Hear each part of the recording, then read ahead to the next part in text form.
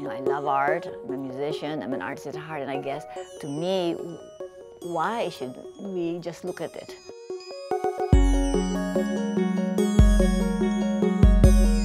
I have rarely seen such a great cross-generational team in my life. I, you really perfected that wonderful art of mother-son relationship, working towards a common goal.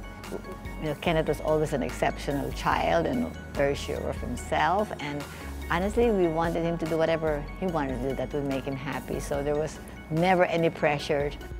I think what's really helped too is that um, we are probably like the two most different people in the in the world, and both in terms of Oh our my skill sets and in terms of like how we approach things. You know, she is very passionate about product detail, you know, very involved in the design process, but I spend most of my day thinking about not the product itself, but how do we connect the product to the consumers and how do we get the product out there and tell our story.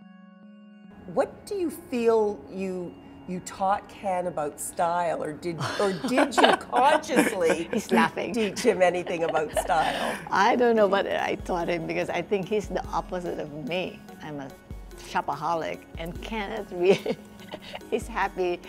As a child, he would buy from Salvation Army. As modern as some of the pieces truly are, they also harken back to a different time. And I imagine your archives are so rich.